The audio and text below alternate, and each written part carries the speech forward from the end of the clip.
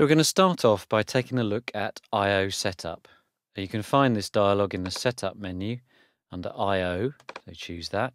And this dialog allows us to label and format and map signal paths for Pro Tools inputs, outputs, buses and inserts.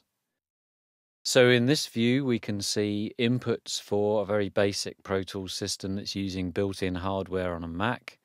Um, here's the outputs here are the available buses, and here are the inserts. Now we're going to come back to all that uh, in later videos, um, but just an overview of what you're seeing here.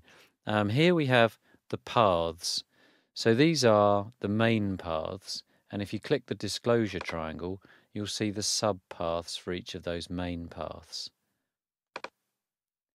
You can option click a disclosure triangle and it will either open them all or close them all. All right, here we have the format for those paths. So the main paths are stereo and then the subpaths are mono in this case. Um, up here we have the hardware that those paths are being mapped to, and that's showing the Pro Tools aggregate driver. And then this section here shows the mapping.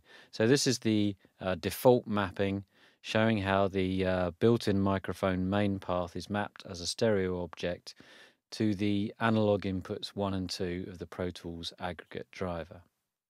L and R stand for left and right, and M stands for mono.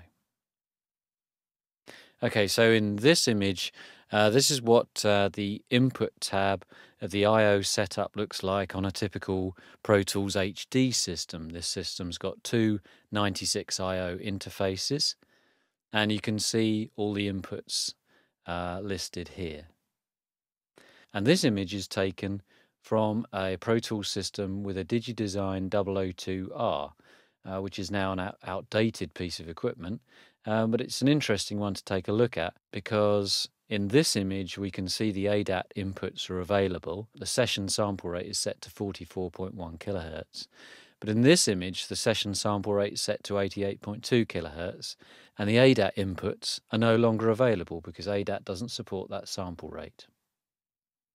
Okay, back to my basic Pro Tools system. What can I do with the I.O. setup? Well, I can add and delete these paths. I can remap them to different sources or destinations. I can activate or deactivate these paths to manage my I.O. resources, and I can rename the paths to make them easier to identify. And in the next video, we're going to take a look at how you can use the ability to rename paths to set up custom labeling for your I.O.